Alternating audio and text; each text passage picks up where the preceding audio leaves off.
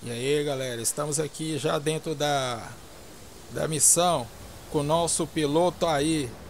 Ele vai usar o, o armamento AGM 154 versão C. AGM 154 versão C. Essa versão aqui C é para alvos fixos no solo. No caso aqui vai ser um edifício é, na base ali. Ele está carregando dois mísseis AGM 154C e vai lançar só um. É... Tá vendo esse prédio à esquerda aqui que não tem jeito de mostrar com o mouse? Esse vai ser o nosso alvo. Nosso não, do nosso piloto aí aqui, né? F-16C, piloto aí, lançando AGM 154 versão C. Vamos acompanhar aqui o lançamento.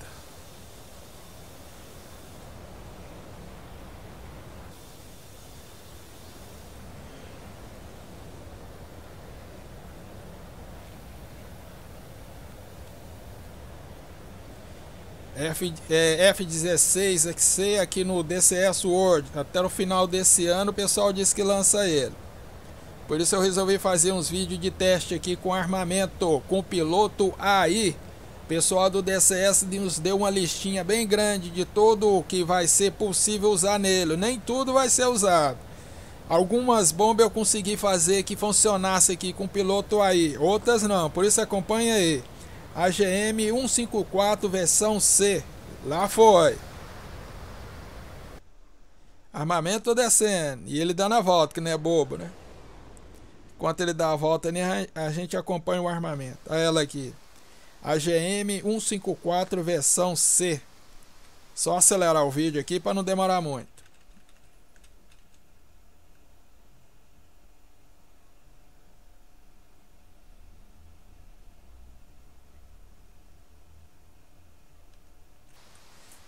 Beleza, já vai descer aqui naquele perfil de voo característico. Primeiro vem alto, depois desce um pouco, depois alinha e acerta o alvo.